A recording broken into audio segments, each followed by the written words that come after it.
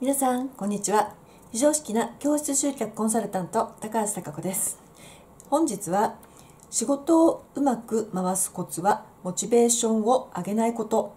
ということについてお話をしていきたいと思います。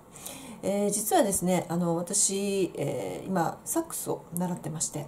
えー、私のあの先生は男性の先生なんですけれども、え今回ですね出版をすることになってでその本のですね、まあ、新作と旧作があるんですけれどもこちらの方が旧作でこちらの方が新作になるわけなんですけれどもこちらの旧作の方の本と両方セットで、まあ、その先生にあの習っているということもあって、まあ、こちらの方の出版記念パーティーのためにサックスを習ってるっていうこともあって両方あのプレゼントさせていただいたんですね。でその時に、まあ、先生の方があの読んだ感想で何個かこうここが良かったそこが良かったっていうポイントのお話をいただいたんですけれどもその時にあのこちらの方のえ前作の方ですねえこちらの方の中でですねおこれはこう目から鱗の話だって言われた話がありましてああの結構ですねあの男性の方がその辺りに響く方が多かったので今日はそれをあの取り上げようと思ってましてもちろん女性の方にもよく言われる章なんですけどねそれはまどういうことかっていうとこちらに書いてある「モチベーションは上げない」ということについて今日は語ってみたいと思います。えー、私の本の方でですねあのまあ、こちらの方に書いてある非常識っていう、まあ、飛ぶ常識っていう言葉はですね常識を超えるっていう意味があるので、まあ、常識的にはですね仕事ってやっぱりモチベーションが上がらないとうまくいかないよねみたいな部分があるので、えー、逆説的に非常識が飛ぶ常識ですね常識を超えるっていう意味であの書いている方が常識だと上げる。だけれども私の扱いは、えー、上げないということを扱うっていうこと、まあ、こちらにね書いてあるんですけれども、まあ、それがどういうふうどういう意味なのかっていうのをまあ解説したいと思いますし、えー、成功してる方っていうのはどういう状態でお仕事をいつもやっているかっていうことも合わせてちょっとお伝えしていきたいなっていうふうに思っているんですね。それであのモチベーションっていうのはまあ、感情に左右される部分が多いので当然女性の方とかは、えー、モチベーションとかにやっぱ左右される方が非常に多いんですよね。であのそれは別に悪いとは言わないです。例えばモチベーションがものすごく上がると自分が思ってもいないパフォーマンスをすることができるようなケースとかも結構多いですのでそういった部分ではあの非常にこうモチベーションが上がるっていうのはあの全然悪いことではないんですね。ただえー、私がここで扱っている話っていうのはモチベーションっていうのは上がると、まあ、下がるわけですよね。でその上げ幅と下げ幅のところでえー、仕事が安定しなくなる要は楽しければこの仕事はやるんだけれども楽しくなかったら仕事をやらないっていうことになっていく場合にですね結局じゃあ例えばある程度仕事っていうのは淡々とこなしていかなくてはいけない部分っていうのが結構あるわけですよね。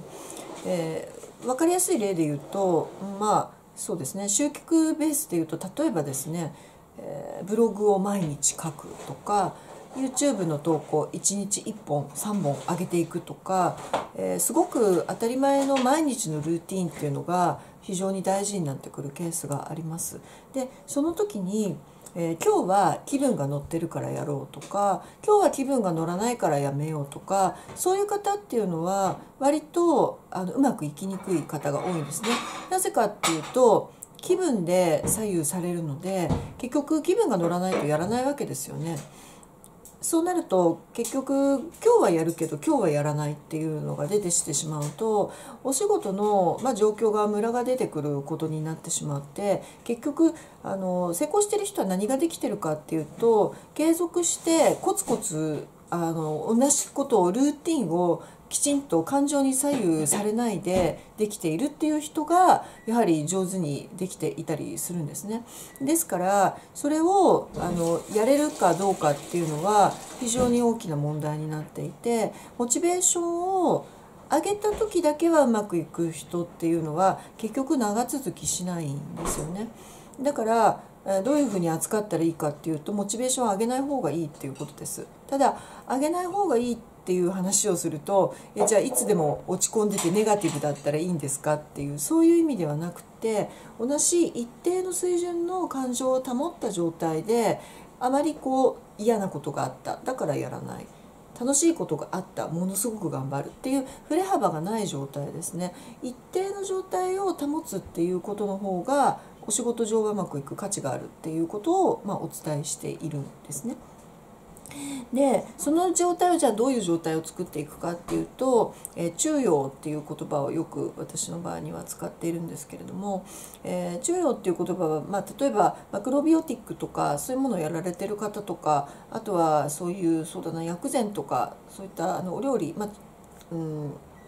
そういったものをやられてる方とかは馴染みがある言葉かもしれないですけど食べ物とかあと世の中の事象っていうのは全て陰と陽っていう2つの要素があってその真ん中のところが中陽って呼ばれているところなんですね。だから陰のものばっかり例えば食べ物で食べていると陰性体質になってそういう体の調子になってしまうし陽のものばっかり食べてると陽性の体質になってどちらかに偏りすぎるのが基本良くないっていうのがまあ陰と陽の扱い方の考え方なんですね。ですから例えば女性と男性っていうことで言うとそれも陰と陽っていうふうに表現されますしあと太陽と月っていうのも陰と陽というふに表現されますなのでどちらかが欠けても良くないしどちらかだけに寄りすぎても良くないっていう状態でやっていく場合に陰と陽っていう部分を考えた時には真ん中の中陽っていうものがいいというふうに言われています。ですので例えば食べ物が陽性体質のものばっかり食べてる人には陰性のものも取り入れましょうっていう話もしますし陰性体質の食べ物ばっかり食べてる人は陽性のものも取り入れましょうっていう、まあ、そういうお話になっていくわけですよね。っていうふうに考えていくと中央っていうのは真ん中の位置を保つっていう意味で非常にこう心を真ん中の位置に保っていくっていうのはやはり事業が安定していく一つの大きな要因になっていきます。